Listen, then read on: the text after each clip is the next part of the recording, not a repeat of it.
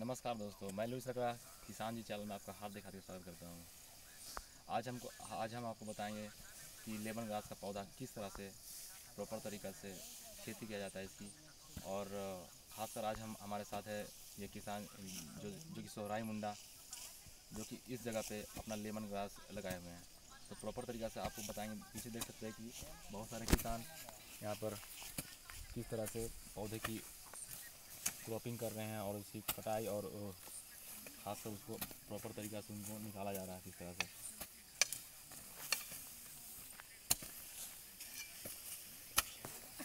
तो आइए बताते हैं आपको किस तरह से किसान इस पौधे को निकाल रहे हैं। ये देखिए।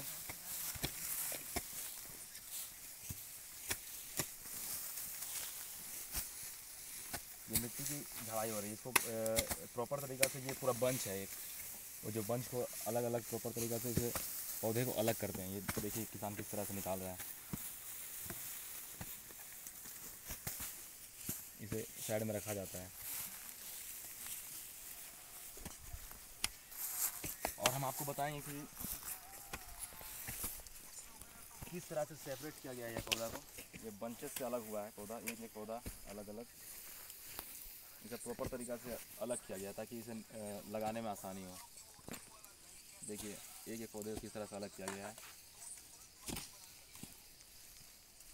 और इसे खास कर लगाने समय ये ध्यान रखना चाहिए कि हमें इसे अलग करना बहुत ही ज़रूरी है, क्योंकि इसे अलग करने का तरीका आपको मैं बताता हूँ कि कभी भी कभी भी पौधे के ऊपर इस तरह से ना पकड़ें, क्योंकि इससे ये ये जो पोर्सन है, ये पौधे के नीचे, ये जड़ वाला, ये ब्रेक कर सकता है, ये टूट सकता है, ठीक है?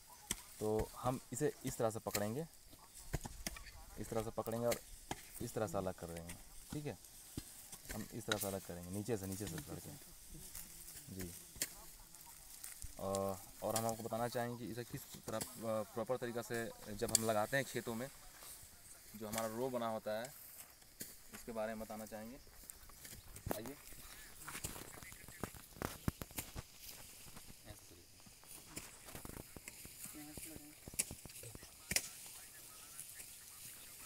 किसान भाई मैं आपको बताना चाहूँगा कि किस तरह से लगाया जाता है। आ जाइए सोरा जी। इसे लगा के बताइए किस तरह से लगाया जाता है। इसको अलग अलग एक एक करके लगाना है। खास ध्यान दीजिएगा जब ये रो बना हुआ है ये रो ये पोर्शन जो रो बना हुआ है ठीक है? इस रो इस रो का जो साइज़ होता है ये होता है सिक्सटी सेंटीमीटर ठीक है? और ये पौधा जो पौधा का डिस्टेंस हो जो दूसरे पौधा लगा दूसरे पौधा लगा। ये पौधा का डिस्टेंस है। ये फोर्टी फाइव सेंटीमीटर इसे लगाया जाता है।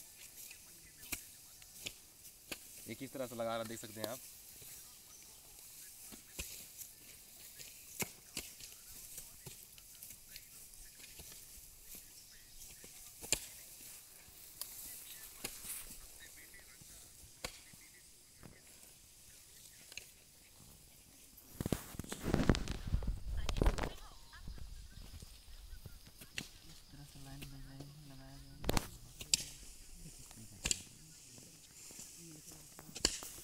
किसानों, भाइयों, मैं बताना चाहूँगा कि ये जो पौधा लगा हुआ है, ये मात्र एक से डेढ़ इंच अंदर गया है, ठीक है? तो इसका ध्यान रखिए इसे ज़्यादा अंदर भी डालें इसे एक से डेढ़ इंच ही अंदर डालना है मिट्टी में। ये काफ़ी अच्छा प्रॉपर तरीके से लगाया, देख सकते हैं सोराई मुंडा जो कि इसे प्रॉपर तरीके से, इसकी काफ़ी जानकारी है किसान भाई को। देख सकते हैं, काफ़ी अच्छा ये लगा रहे हैं।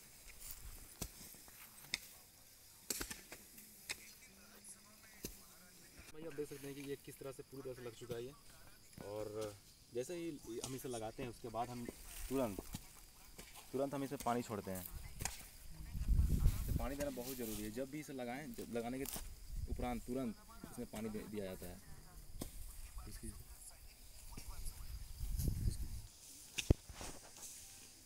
तो किसान भाइयों, आप देख सकते हैं कि जो ये पौधा है, ये लगने के बाद मात्र तीन महीना का पौधा है। इसमें देख सकते हैं जो स्लिप जो तैयार हुआ है हमारा, ये तीस से पैंतीस स्लिप तैयार हुआ है मात्र तीन महीना में। आप देख सकते हैं। ये पैंतीस से चालीस स्लिप्स है इसमें। और